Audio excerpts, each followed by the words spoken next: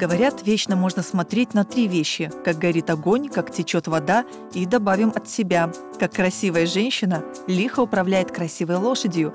А когда они еще и медали выигрывают, это уже гордость страны победительница Кубка мира, многократная чемпионка Беларуси, лидер национальной команды по конному спорту, мастер спорта международного класса по выездке, наконец, многодетная мама Анна Карасева, героиня проекта «Женщины и спорт». Я так полагаю, что лошадки – это любовь с первого взгляда. Это, наверное, да, это любовь всей жизни, это все с детства, это, наверное, благодаря бабушке и ее деревне. Меня уже с самого маленького возраста отправляли родители в деревню на 2-3 месяца, и там была ферма с лошадьми, я туда постоянно ходила, э, гладила лошадей, и я тогда даже не знала ни о каком конном спорте вообще, что это такое, что вообще такое существует, просто любовь к лошадям.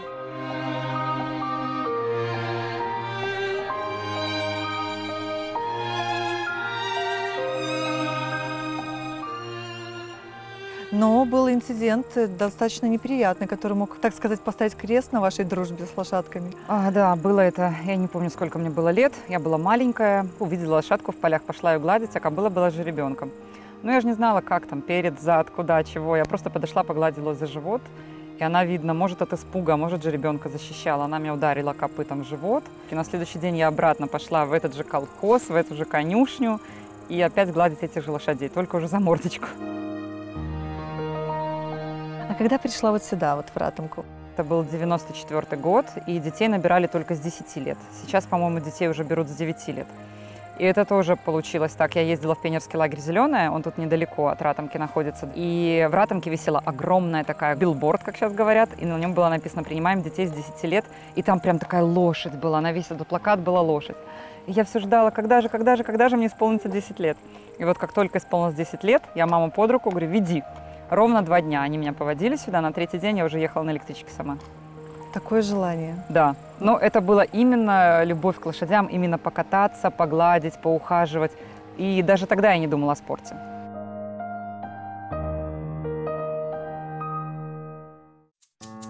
Вообще не люблю город. Я люблю больше деревню, ратомку свою любимую.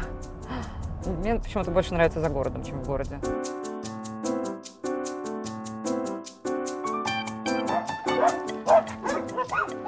Мы приехали к моему первому тренеру, Оксане Плешко. Это тот тренер, который меня посадила в седло. Ну, я считаю, наверное, это самый главный человек в моих успехах, вообще в том, что я продолжила. После просто катания перешла в спорт. Пойдемте. Здрасте. Никто не кусается, проходите. Пойдемте к лошадкам, да? Да, пошли на, пошли на поле. Собаки, собаки. Ай, да такие собаки такие хорошие. А где пончики? Все на поле. И серые тоже маленькие? Все, все на поле, да. Ой, как хорошо в деревне, да, вообще. Первый раз, когда посадила, говорит, галоп умеешь? Говорю, конечно. Поехали. Ну да, кстати, я поехала. Помню фотографию Аня мне подарила на карусельной лошадке. Так вот, с таким серьезным... Парке Челюскинцев.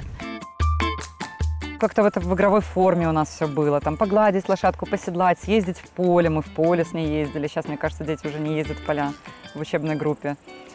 И она так вот привила эту любовь, этот вот именно желание все время сюда ходить, ходить, ходить.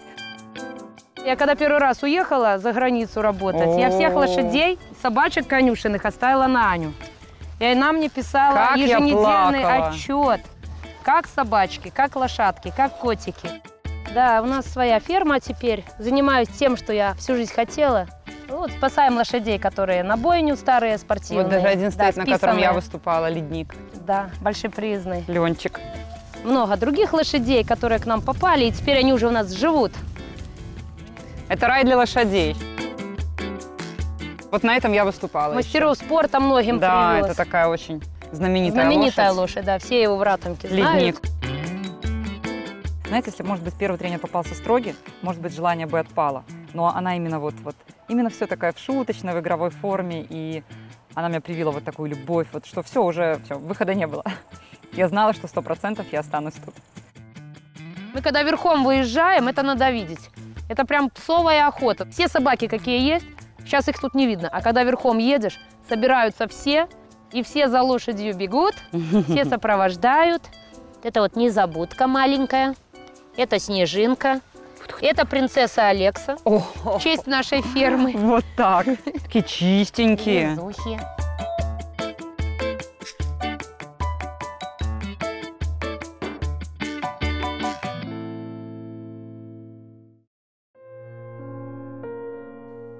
Занимаясь в группе у Оксаны Плешко, стал выбор – выездка или конкур. Анне хотелось в конкур, но первый же медосмотр сразу все перечеркнул. Оказывается, все из-за того самого удара лошадью в детстве. Выявилось, что у меня опущена почка. Ни в коем случае нельзя прыгать. Мою карточку перечеркнули красным маркером. Я ее выкрала. Пошла второй раз в диспансер уже проходить медосмотр. И ну, выездку меня взяли. И я стала заниматься выездкой в группе у Светланы Евщик. Но она была маленькая, тогда я на тот момент было 12 лет, худенькая, стройненькая, длинноногая. Ну, такая хорошая фигура как бы для всадника, так скажем, оптимальная. Ну и, конечно, она хорошо тогда уже на тот момент сидела в седле. Светлана Евщик строгий тренер. Была строгий тренер, и за это ей огромнейшее спасибо, потому что у нее было вот все вот по правилам, все как надо. Шаг влево, шаг вправо, расстрел. Она нас научила такому порядку, такой дисциплине, которая мне даже вот сейчас, она мне, ну, Пригодилось. пригодилась, да. Фактически больше, чем родители нас видят, у нас тренер. Так что мы участвовали в воспитании тоже очень активно. Ну, то, что она трудолюбивая, целеустремленная, она всегда хотела поехать на Олимпиаду, вот всегда, это прямо вот ее была мечта. Владимировна, когда поедем на Олимпиаду? То есть, ну, это, это, не, это наверное, вот эта ее мечта, она, конечно, давала ей постоянно вот этот стимул, а вот, а ее работоспособность позволила этого достигнуть. Были ссоры, были обиды. Это по, уже по истечению лет все это понимаешь, что она делала это все во благо, во благо нам. Она где-то заставляла, где-то через силу, где-то через вообще через даже, может быть, какую-то боль, когда езда без стремян, там дико болит спина, дико болит ноги. Но она это делала все для результата и все для нашего же блага, чтобы мы стали потом спортсменами, действительно настоящими спортсменами. Огромная благодарность. а, С ней мы прошли огонь, воду и медные трубы. С ней я прошла от э, первого разряда до мастера спорта Республики Беларусь. С ней я выиграла не один чемпионат республики по юношам, неоднократно была победительницей по юниорам. С ней я первый раз участвовала в программе «Большой приз». Все это было на ее лошадях, подготовлено ей. То есть, как у нас говорится э, в конном спорте, я садилась в теплое седло. Она мне разминала лошадь, она ее тренировала, посадку она мне привила правильную.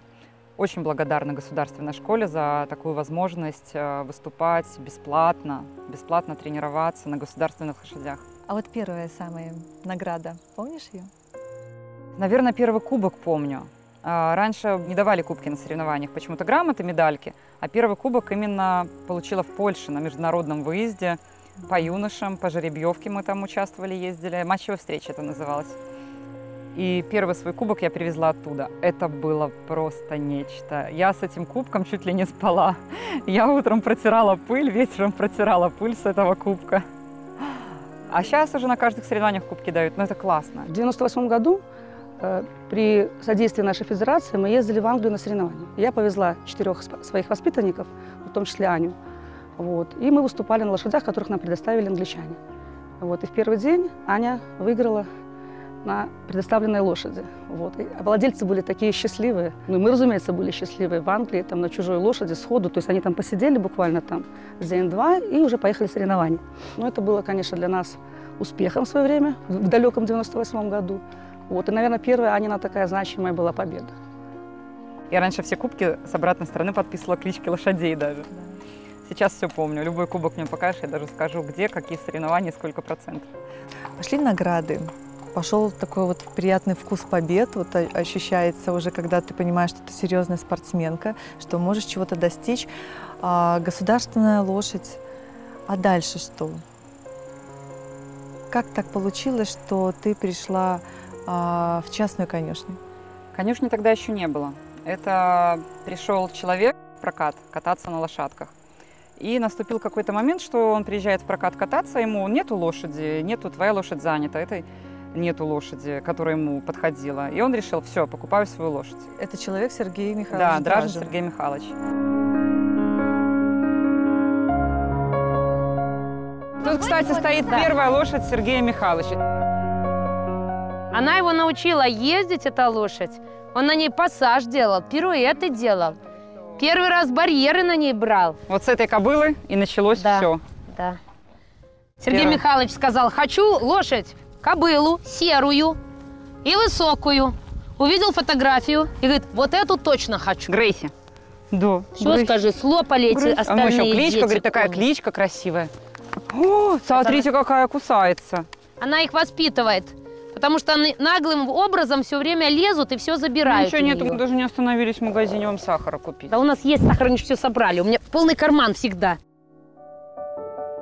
Потом он начал просто покупать еще, еще, еще лошадей, и, ну, понятно, уже одному человеку не справиться. И тогда пригласили меня заниматься, помогать с этими лошадьми, работать берейтером. И в один прекрасный момент он говорит, давайте моя лошадь выступит на соревнованиях. Ну, лошадь немножко была такого среднего уровня, выступила не очень хорошо. И как это? Мои лошади выступают плохо. Давайте-ка купим хороших лошадей. И все началось с этого. Тех спортсменов, которые работали со мной, сами выбирали себе лошадей, как и Анна выбирала себе лошадей. Но не хватило терпением, я бы сказал, так больше у этих людей. И в итоге я остановился на том, что мы стали сотрудничать только с ней, и все было заточено под, под ее результат. Только достижение результата, именно морального, скажем так, результата для страны. И меня это, ну, скажем так, впечатлило очень сильно и зацепило, что ли, вот так. Потому что ну, я считаю, что люди, которые бескорыстно пытаются чего-то достичь, ну, это сильные люди, их нужно уважать и любить в данном случае. Вот так, мне кажется. Наверное, мне очень в жизни повезло. А, Наверное, мне повезло встретить такого человека. Э, Наверное, мне повезло, что он мне доверился, что он мне начал покупать столько лошадей. Мне повезло, что он меня возил на соревнования на международные. Это бешеные деньги, это бешеные вложения были в меня. Анне приходилось разрываться между двумя конюшнями. Уйти в частную долго не решалась, ведь с государственной еще много чего связывало. У меня был тогда замечательный конь похвал. Это тоже мне передала его Евчик с-под своего седла. Я очень хорошо на нем выступала в Беларуси. Я была даже чемпионка Беларуси на нем. Но не очень хорошо выступала на нем за рубежом. Да. Из-за этого лишь нарастало напряжение в отношениях с тренером. Решение уйти из государственной конюшни в частную далось нелегко, ведь никогда не знаешь, что завтра частнику придет на ум. Вдруг владелец передумает. Скажет, а я не хочу лошадей ваших, я пойду там футболом заниматься. И это было такое вот 50 на 50 тоже. Нельзя так на двух стульях сидеть. Надо или тут оставаться, то бросать, или туда уходить полностью. Ну, я приняла решение в пользу частных лошадей. А лошади вообще ревнивые? Зодиак с Орликином, да. Когда они все время обычно вдвоем на турнирах, потому что основные лошади. Если к одному заходишь, что-то даешь, все, как почему не я, я же царь. Они, да, они очень. Это и есть та самая частная конюшня, где Анна раскрылась в полной мере как первоклассная наездница. Она готова быть здесь и день, и ночь, признается, что покупать взрослых лошадей – непозволительная роскошь, поэтому рискуют, покупают маленьких, растят и очень тяжело переживают, когда лошадь получает травму. Так случилось и с ее любимым Орликино, когда он сбежал с конюшни. У меня была просто истерика, когда сделал рентген. И узнали, что перелом, я просто все, у меня, мне казалось, жизнь прожита зря, и вообще это лучшая лошадь в моей жизни. И, ой, не знаю, у меня просто слезы градом текли, а я была уже на восьмом месяце. Меня все успокаивали, что не надо нервничать, не надо переживать, сколько будет тех еще лошадей. Столько мне человек говорил, сколько у тебя будет еще лошадей? Я говорю, такой не будет. Такой, как он, говорю, у меня не будет никогда. Мы его поставили на три месяца в денник просто стоять. Холод, таблетки, уколы. Он был жеребцом. Мы думали, ну, может быть, останется хоть производителем. И как-то восстановился он. Вот такая я мать, да. Я плакала по Орликину, и я проводила день и ночь около его денника с животом. Меня прям с конюшни забрали в роддом. Серьезно? Да. И через полтора месяца после рождения Даши ты уже, по-моему, Да, я поехала на Украину выступать. Поехала уже на Орликина и на Аспекте, на двух лошадях, и выиграла там. После рождения Дашки он восстановился. Это было такое счастье, когда я вывела очередной раз из денника, и мы бегали по асфальту, смотрели, хромает или не хромает, и он не хромал. И тут и Дашка маленькая, и Орликин не хромает. Это ой, вообще просто. Сегодня Дашке уже 11 лет. Она пошла по стопам мамы и набрала такие темпы, что есть все предпосылки превзойти мамины достижения. Пусть это и сложно. В своем еще совсем юном возрасте Даша выполнила первый разряд. И это понятно, Дашка выросла-то практически на конюшне. Что такое декрет, Анна, естественно, не знала. Выступать стала через полтора месяца после родов. Я думаю, не одна я такая. Но это очень По крайней сложно. мере, ко- из конников точно. Все-таки ты управляешь 500-килограммовым конем. Это, это очень крупное животное. Да. И это строптивое животное с характером. Это не просто так. Как женщина я понимаю, что полтора месяца после родов у тебя еще гормоны бушевали. Я думаю, что это все было очень даже Я непросто. еле застегивала на себе бриджи и фрак. Я перешивала пуговицы, потому что я тогда кормила Дашку, и я была таких необъятных размеров. Судьи не давали тебе снисхождения, Нет, зная, что ты нет. только что родила ребенка? Я думаю, нет, вообще никаких, абсолютно никаких. И все судилось честно, и не хочешь, не выступай, никто не заставляет. Но мысли Поэтому- уйти в декрет не было. Нет, вообще. Сразу же с первых дней у меня села мама в декретную вместо меня, и я была на конюшне. А никогда не прилетало упрека от отца ребенка, что, мол, как, что за мама ну, такая? было, конечно, конечно, было. Мама называла меня кукушкой там постоянно, что постоянно на конюшне пропадаю, и не смотрю за детьми, и такая я всякая такая плохая, и у тебя одни кони на уме, но это моя жизнь. Даша у меня была очень-очень скандальным ребенком. Она спала или только на руках, или только вот когда я ложилась, она ложилась на меня, или в коляске, когда ее постоянно водишь по каким-нибудь ямам. Только присядешь на скамейку, она сразу открывала рот. У нее все время открывался рот, потом открывались глаза. Еще первый ребенок. И я такая, с детьми вообще никогда. Мне когда просили раньше сидеть с детьми, я говорю, нет, вообще нет. Дети для меня это было что-то страшное. И поэтому Даша очень, мне с ней было очень-очень-очень тяжело. Как быстро появилась вторая дочь? Полтора года разница. С ума сойти. Как ты рискнула вообще на такой шаг? Ну, думала быстрее и спорт дальше. Потому что пока лошади были еще молодые, Орликину было только уже на тот момент 6 лет. Это еще только-только-только рассвет сил. И как бы хотелось так, наверное, оп, и дальше.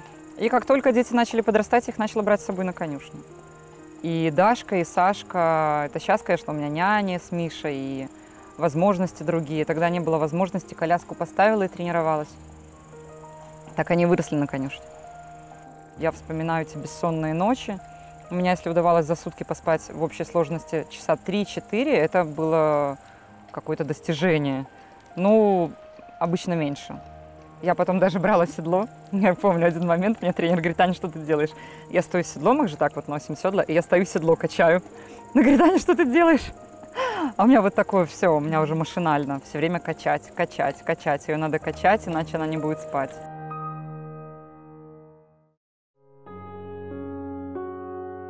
Итак, на руках двое детей, конюшня лошадей и развод, тяжелый и неприятный. Страшно было уходить из семьи?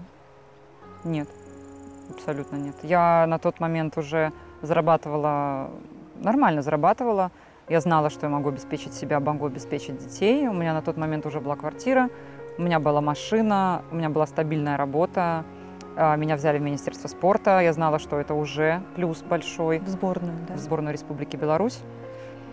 Мне сразу предложили а, президентскую стипендию, поэтому я знала, что я вытяну. И мама помогала, очень сильно помогала мама. А психологически не страшно было все-таки женщине Нет, с двумя вообще детьми? нет. Ни капли, вообще ни, ни капельки. И я даже не задумывалась, что может быть какой-то там коллапс, и что я останусь одна там, и нечего будет есть. Не было, вообще не было. Как-то все прошло очень так замечательно. Пережить неприятности в личной жизни помогли дети и любимая работа. Аня не разделяла эти две важные составляющие в ее жизни никогда. Такая самоотдача далеко не всем присуща и оттого ценится еще больше, особенно среди тех, кто способен оценить. Анна отдается конному спорту полностью. И она готова учиться всю свою жизнь, э, поэтому она осталась э, одна, которую я спонсировал в конном спорте, а потом так случилось, что мы стали мужем и женой.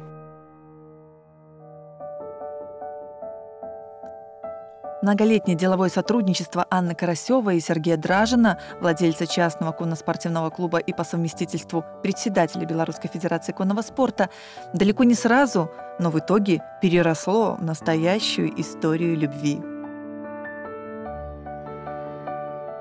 А ты сама удивилась, что вот так получилось, и ты полюбила человека, который много-много лет был рядом, а ты совершенно не смотрела на него как на потенциального мужчину? Да, честно, очень удивилась. Сама себе, потому что э, вообще никак, ну это было просто, говорю, мой был мой работодатель. И это как-то долго-долго накапливалось, накапливалось. Именно его поступками. Именно, я его, наверное, полюбила именно за его поступки.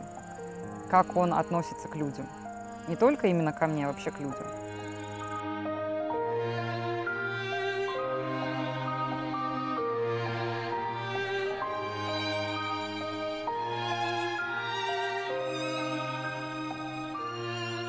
Вы не соревнуетесь да, между собой? Да, наверное, мы не соревнуемся, кто там круче, кто выше прыгнет или кто больше наедет процентов везде. Он поддерживает выездку, я поддерживаю то, что он прыгает, и то, что он прыгает на любительском уровне. Я ему говорила всегда, не лезь выше, тебе это не надо, у тебя вот твои лошади, вот твоя высота 120, тебе больше не надо, будь счастлив тут. У нас есть о чем поговорить, мы приезжаем домой, приходим, он приходит с работы, он мне про лошадей, как на конюшне, я у него как на работе. У нас есть общие темы, но общие темы, не, которые не совсем прямо вот так вот связывают, как спортсмена со спортсменом. Помогает э, психологически? Э, ну, на соревнованиях, конечно, поддерживает. Ну, знаете, больше, наверное, даже... Ой, а почему ты, говорит, не заняла первое место, заняла второе место? Бывает Не так- раздражает бывает. такое, кстати? Раньше было такое, что он мне... Слушай, ты что, не могла тут подтянуть больше, тут поддать больше? Я говорю, так, стоять. Я говорю, тебя не учу строить. Он такой, нет. Говорю, не учи меня ездить. Понял, все, ухожу. Но дома я жена. Я не спортсменка дома, я жена. И я стараюсь вести себя именно как жена, а не как тут мастер спорта международного класса. Он, знаете, он настолько, вот, ну, может, так, ну, не, не стоит говорить про своего мужа, может, это будет как похвала, но он действительно очень хороший человек, очень хороший человек. И началось все как-то так, э, он начал приезжать на конюшню, мы просто сидели, разговаривали долго, могли час, могли два, о всем, о всем вообще о всем. Он очень умный, он очень начитанный, он очень знает хорошо историю. И мне это было так интересно. Я сидела с открытым ртом и просто как губка все это впитывала, впитывала, впитывала. И как-то, ну как-то вот произошло как-то, я не знаю как. Просто помните тот момент, когда вы на Анну посмотрели не как на талантливую наездницу? Ой, это сложный вопрос. Я был женат. С женой расстались, но, наверное, где-то после этого, через год, я уже посмотрел на Анну именно как на э, женщину э, с точки зрения вот, вот этого. И так получилось, что у нас он родился прекрасный сын, и у нас все хорошо. Может, еще кто-то родится. В этом уютном доме, недалеко от Минска и совсем рядом с любимой конюшней, дружно уживается в семье Дражиных трое детей и собачки. Опа! Девчонки. Это мои водоросли. Старшая водоросль Даша и младшая водоросль Саша. Почему Ну, потому что они водоросли. И крестная мама Мишина, Наташа. Она с ними занимается постоянно. Это потому что я вообще с утра до вечера на работе. О, а еще же один член семьи. Снупи. Что ты там увидел? Ты же это все видел. Лошадки. Нет, не это лошадка, скажи. И все это в окружении, конечно же, множество красивых статуэток лошадок. Даже есть орликин, вылитый в бронзе. Мне девочка делала в Москве. Не знаю, похож, не похож, но мне кажется, что похож. А что тебе надо? Лошадки тебе надо? Ну, на тебе какую-нибудь лошадку тоже. Стараемся из разных мест, где бываем. А Обычно подарки у нас на все праздники это тоже лошадки от знакомых, и от бабушек, и от дедушек. Самая дорогая, ну, если не секрет. Как для меня самая дорогая, так это мой орликин. А Мне нравится князь Альгерт. Вот. Это наш белорусский То, что он очень любит ск- историю. э, скульптор делал это, это. И очень лошадь передана абсолютно точно, как все мышцы и так далее. Ну и князь очень такой. Обычно женщины карьеру подстраивают под рождение ребенка, ты наоборот. Да. То есть ребенок надо так как-то успеть родить ребенка, чтобы тут и лошадь подросла, и Да, я могла нормально да, выступать. Да, чуть ли не месяца Гениально. высчитывать, чтобы не попасть в стартовый сезон. Гениально. С Мишкой так и получилось. Ну, у меня такой сын, что больше, больше мне желать ну, не нужно, но хочется. Можно еще один сын, но э, вот как бы у меня Кань не, не только... Я, я всем доволен, абсолютно всем. До которого месяца ты выступала беременной? С Дашкой до четырех месяцев я выступала. С Сашкой, наверное, быстро, потому что это был не турнирный сезон. Это была зима. А с Мишкой на пятом месяце я еще выступала на... Наверное, это был этап Кубка мира в Москве. Не знаю, что туда поперлось на самом деле. Уже можно было и не ехать, но мне же надо соревнования. Я же люблю соревнования. И я там осталась в тройке. Ну, уже многие россияне уже заметили, потому что фраг уже был а, Слегка не сходился. да, маловат. Первого ребенка она родила, вешает там коню, такой есть, называется рептух, мешок с сеном. Тут у нее прихватила, родила, потом я иду по конюшне через неделю, она опять вешает этот мешок. Я говорю, Аня, ты вообще что тут делаешь? Вот мама там пришла, ну, вот она такой человек, она из конюшни не вылезает. Такая же история повторилась и с рождением третьего ребенка. 4 мая Анна родила сына Мишу, а уже 11 мая, через 7 дней, выступала на соревнованиях в Литве под изумленные взгляды соперниц. Когда я уже вышла на выводку с лошадью, мне говорит, ты сумасшедшая. Ты просто, говорит, ненормальная. Я скинула первую свою фотографию в Инстаграм, тогда написала, начинаем все сначала. У меня было просто вот такое количество комментариев, что я сумасшедшая, что я ненормальная, что как так можно. Я тогда выиграла. Все три дня я была первая, это было лично для меня какое-то достижение. Правда, скоро пришлось об этом пожалеть. Дикие боли в спине не давали выступать в полную силу. Сама себе втихаря от мужа, втихаря от тренера колола уколы дома, чтобы никто не видел. Но потом все-таки меня стянули за ногу с лошади, сказали, передожди недельку. В Инстаграме недавно ты сделал такой очень милый пост и написала такие слова. Однажды в твою жизнь придет такое счастье, что ты поймешь. Ой, Это Прям именно про... Да, оно это стоило именно... всех твоих прошлых трудностей. Да, это именно я хотела э, как бы не то, что показать, я... Это именно про первый брак и про второй брак. Именно вот, вот, вот это к тому. Я никогда в жизни вообще не думала, что у меня будет третий ребенок, и что это будет сын. И он, ну он, он, может, я как мама сейчас буду говорить, но он, он реально, он всех, вот все, кто его не видит, все прямо тают. Все его глаза, его вот он такой, он, кстати, тоже очень боевой мальчик. Он строит весь район детей, которые его возраста. Но он такой вот приходишь прямо, он, мамочка, мамочка, он тебя за ногу обнимет, и все, все, и тут все, речь пропадает, обнимашки, целовашки. Вот такой момент. Все-таки у девочек появился новый папа. Они его не называют папой, они называют Сергей Михайлович, они его очень уважают. Он делает для них все и даже больше того. Он для них даже разобрал дом, чтобы построить второй этаж. Он их устроил в частную школу. Он покупает Даше лошадей. А, Дашин батон, ее, который фотон, это он приобрел для нее, потому что она выступила на нем на соревнованиях хорошо. Он реально для них делает все, все, что только они не попросят. Для ребенка, для своего и вообще для детей, вот какое будущее видишь? Вот нравится им конный спорт, сейчас занимаются, а дальше потом? Если будут заниматься, я только буду поддерживать. Если не захотят, ну, заставлять точно не буду. Потому что, ну, не заставишь. Спортом нельзя насильно заставить.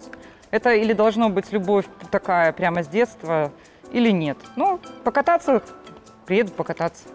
Может, что-то другое найдут себе. Конечно, хотелось бы, чтобы хоть одна занялась и поехала в выездку именно, а не конкур. Все-таки войсковых лошадей много, и лошади хорошие. Есть лошади, которые уже готовы для нее на чемпионат Европы по детям. Но выездка нет? Мне кажется, это нудно все-таки для детей. Именно вот для таких детей. Я вспомню себя в его возрасте. Хотелось поноситься по полям, поиграть в казаков-разбойников, Попрыгать попрыгать барьеры да. триборные, пока не видит тренер. А потом уже как-то осознаешь, что все-таки, да, выездка. Поэтому я даже ее не тренирую. Я ее отдала тренерам и не лезу в это, потому что я знаю, если я за нее возьмусь, она сразу бросит. То, что дети рядом, ну, Мишка еще маленький, а вот девочки вот на конюшне, тебя это радует? Конечно, я очень рада, что Дашка пошла по моим стопам, и что у нее получается, что в 10 лет я только пришла на лошадей, села только верхом. Она уже в 10 лет выполнила второй разряд. И я бы очень хотела, чтобы она продолжила, но я бы очень хотела, чтобы она продолжила именно в выездке. Ну, Мне кажется, почему-то выездка это ну, для девочек. Таша выступает уже, и в конкуре неплохо. Мы уже даже, я покупал лошадей таких конкурного направления, две молодые. И вот они сейчас растут, мы готовимся. Я надеюсь, что когда она станет выступать постарше и получше, эти лошади ей подойдут само. Может, она на них еще покажет серьезный результат еще и в конкуре. Это будет великолепно. Саша тоже как бы ездит не так, конечно, как Даша увлеченно. Ну, младшего, мы же вам сказали, садили уже на лошадку, он пока опасается, но я, я вижу по его характеру, что он не будет бояться лошадей, это точно. Чувствовала, что вокруг уже даже бродит зависть? И Наверное, наверное, есть такое. Может быть, э, наверное, я не знаю, честно говоря. Мне так хорошо, и что я ни ни на кого, ни на что не обращаю внимания. У меня сейчас такое в душе спокойствие. Даже и Олимпиаду отменили, даже на финал Кубка мира не поехала. Но семья, благополучие в семье, дети, все это скрасили, все это, все ушло на второй план. Даже, говорю, у меня даже не было ни одной секунды, что я, ой, отменили Олимпиаду. Но отменили, значит, отменили, перенесли, значит, так надо. Взаимопонимание. Это самое главное, я считаю, в семье это взаимопонимание. И надо разговаривать, надо обсуждать, не надо таить ничего в себе, держать. Если что-то не так, ты должен вечером прийти и сказать про это. И самое главное, нужно оставлять работу на работе, а домой приходить. И всю злость, которая там за день накопилась, может быть, усталость, ты должен оставить тут. Домой ты должен прийти совершенно другим человеком. Любящей женой и любящей мамой. И тогда все будет хорошо. Я бы могла и растить детей одна сто процентов. Я не пропала бы, и потому что я боевая. Я бы нашла работу. Меня очень часто приглашали работать в Россию за очень хорошую зарплату. Меня приглашали работать в Америку еще за большую зарплату. Сменить гражданство. Почему не Потому что уехала? появился именно Сергей Михайлович. Я, может быть, и уехала в Америку. То есть любовь победила. Да. И меня так, ну, мне говорю, мне тут стало спокойно, комфортно. В России мне предлагали даже два раза сменить гражданство. Позвонили лично ему, да, предложили встретиться в Москве. Он Сергею что, Михайловичу? да. Он сказал, что это не обсуждается ни при каких условиях, и об этом речи даже быть не может. Она, говорит, будет выступать на Олимпиаде за свою страну и под своим флагом. За свою страну, за свой флаг, за свою семью и, конечно, тренеров, без наставлений которых невозможно добиться высоких результатов.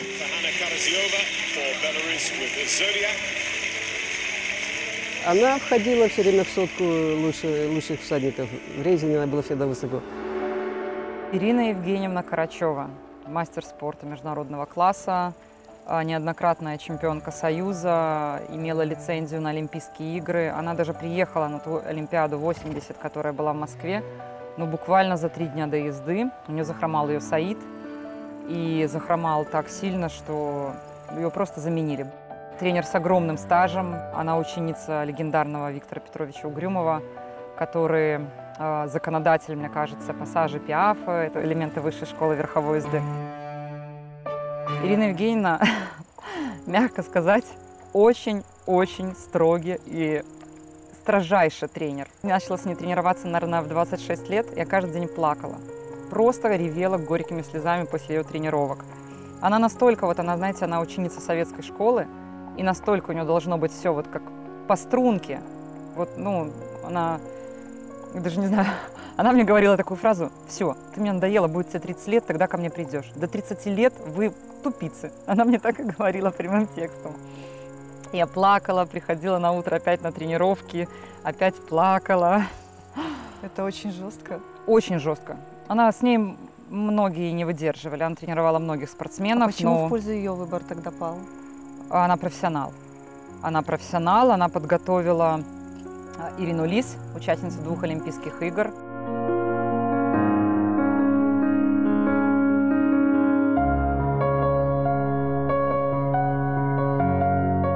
Именно с ней мы подготовили на большой приз Орликина, именно с ней мы подготовили на большой приз Зодиака. Все мои заслуги, которые на частных лошадях, благодаря ей. Но был момент, когда мы с ней разошлись. Это было, наверное, мне было лет 27-28. Я начала выигрывать все турниры подряд. Я выигрывала в Минске, я выигрывала в Польше, я выигрывала в Нижнем Новгороде, я выигрывала в Москве. И у меня выросла такая огромная корона. Мне казалось, что весь мир должен лежать у моих ног, все мне должны, и государство мне должно, и федерация мне должна, и тренера мне должны. И мы с ней разошлись. Мы с ней как-то нашла коса на камень, я перестала ее, именно я перестала ее слушать. А это у всех, это все проходят через это, да. Да, когда человек ну, молодой, там, юноша, юниор, они тренера слушаются. Потом они начинают думать, что они все понимают. Я думаю, что это не только в нашем виде спорта. Кажется, что тренер что-то там не то требует или не то говорит, а надо так. А это нормальное явление, к этому спокойно и отношусь. В один прекрасный момент я ей позвонила, говорю, Ирина Евгеньевна, говорю, простите, извините, вы, как говорю, никто другой знаете меня, знаете лошадей, давайте продолжим. Она говорит, Аня ждала твоего звонка, говорит, очень ждала, мы вдвоем поплакали. И на следующий день все, мы приступили к тренировкам. И после этого у нас больше не было ни разу никаких разногласий. Все, мы вот как сейчас как работаем как единое целое с ней. Анна, с точки, моей точки зрения, сразу врать не буду, квалификацию имеет не хуже этих всадников, которые едут сегодня топ. Но у них другой уровень лошадей. Мы сейчас пытаемся это, достичь этого уровня в лошадях. А она сработает ежедневно по 8 часов, 8 лошадей, хотя ее лошади теперешние хорошего уровня. Но не те, чтобы поехали за медалями. Я уже с вечера строю график, что утром с кого начинать и по порядку. Вот примерно в 9 часов я сажусь на первую лошадь, и одного за одним меня подводят следующего. Есть утренняя лошадь, дневная? Да, да, есть Серьезно? утренняя, есть дневная, есть вечерняя. Например, у меня Орликин не любит работать с вечером. Вообще, ну вот он решил, вот я не хочу А работать если с вечером. соревнования? Вот тогда приходится ближе к стартам менять уже график. Последний катер я просто там аж до слез чуть ли не так, был так горд, что мы так выступили, что я там я был в шоке. Это вот так. Поэтому, конечно, хвалю. Поэтому, скажем так, что ли, моя похвала заключается больше не в словах, а в действиях. Действие это значит, мы покупаем новые седла, форма, лошади. Вот мы с ней договорились, что мы каждый год будем ездить, если будет возможность, конечно, финансово покупать лошадей, но в Германии пытаться подвозить их сюда, и чтобы э, эти лошади шли, и был выбор. Вот я через конный спорт пытаюсь сделать что-то хорошее для людей вокруг. Вот и все. Если наша страна выступает и наши флаги висят среди 30 стран, которые попадают на Олимпиаду, это круто. Потому что из 196 стран в три попасть в тридцатку для Беларуси с населением в 10 миллионов – это, я считаю, крутой результат.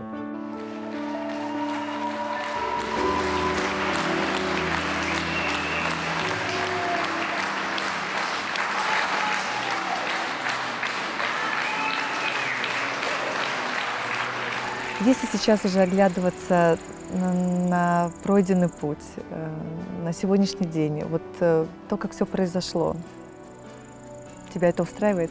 Да, абсолютно ничего не хотела поменять, вообще ничего. Вот все как шло, значит, оно все должно так было идти. И э, 26 лет в спорте, и вот то, что имею сейчас, не было бы этого, если убрать какие-то моменты из жизни. Поэтому все должно было быть. И плохое, и падение на турнирах, и взлеты какие-то на турнирах, потому что были турниры просто отвратительные, были слезы, были сопли, а была радость, гордость, были вообще многочисленные победы на этапах Кубка мира. Я даже уже раньше их считала, потому что этап Кубка мира это у нас очень-очень такой турнир считается в конном спорте. Сейчас я уже сбилась со счета. Оно все так должно, значит, было быть, чтобы прийти именно вот к этому, что сейчас. А в личной жизни? И в личной жизни тоже. Я вот я могу сказать э, абсолютно честно, я самый счастливый человек